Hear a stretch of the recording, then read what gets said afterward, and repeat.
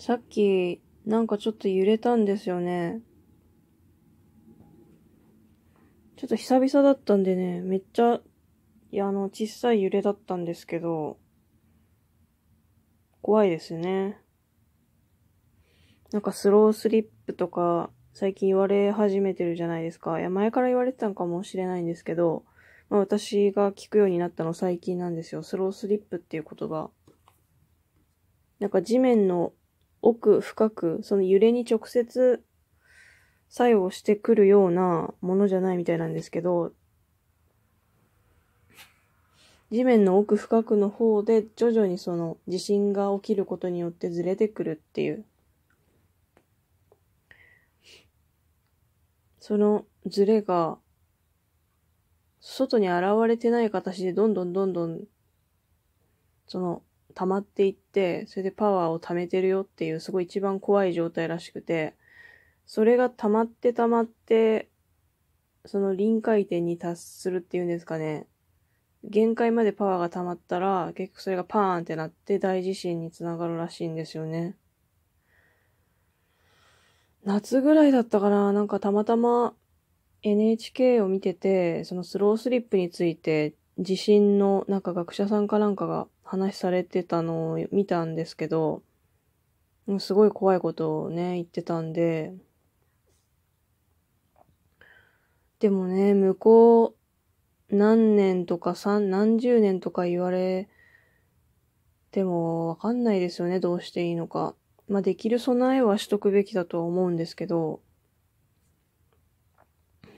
前に髪を切りに行った時にも、なんか美容師さんとその話してて、まあ、ていうか私がその話始めたんですけど、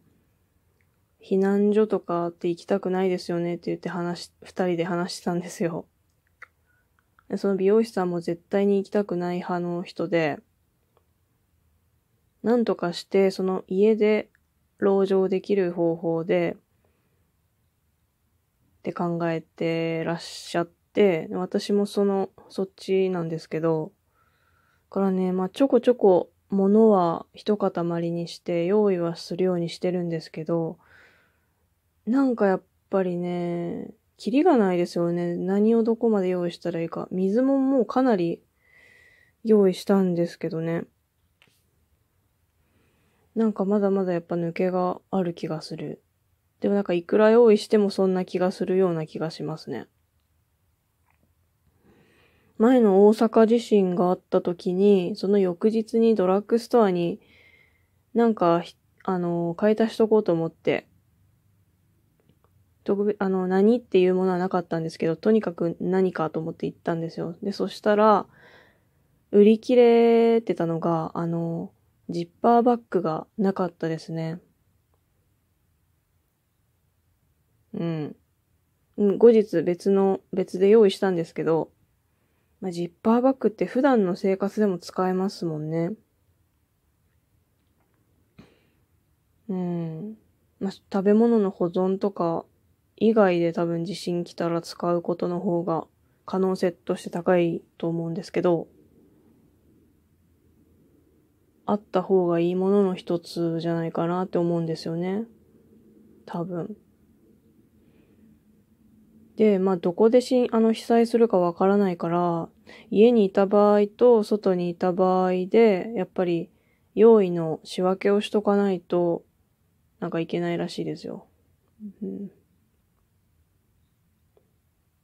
うちもあの、あと単4電池1本で動くちっちゃいラジオとか欲しいなって思ってるんですけどね、それはまだちょっと用意できてないんで、まあ、まだ大丈夫だろう、大丈夫だろうって思わずに早く用意しとかないといけないですね。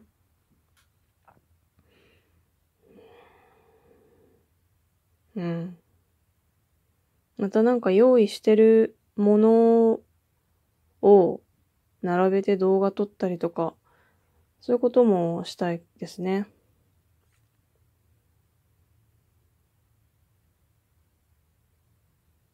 まあ、ものについてはもうちょっと見直しが必要かもしれないです。